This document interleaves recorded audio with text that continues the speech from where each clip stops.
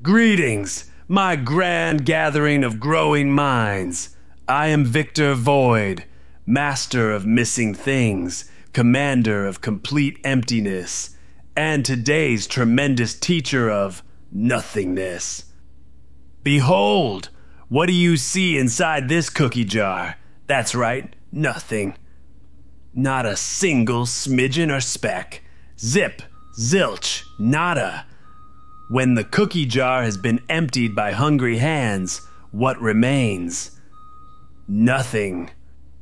My brilliant brainiacs, nothing's everywhere. It's the empty space between your fingers.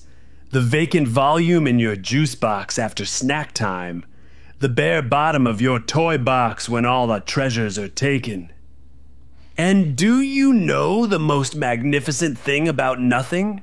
It has power when all your fruit snacks vanish into thin air. Poof! No more counting needed. When your crayon box goes empty. Wonderful! No more needing to sort by color. When your toy chest has nothing inside. Marvelous. No more needing to keep track of how many toys you have. You see, my precious pupils, nothing, none, empty, all gone. No more. These are not just words of woe. They are the very vocabulary of victory. For to understand when something is absent is to truly appreciate when it is abundant.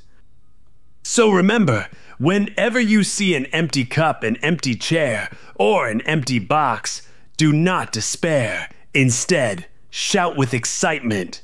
Aha! I have discovered nothing.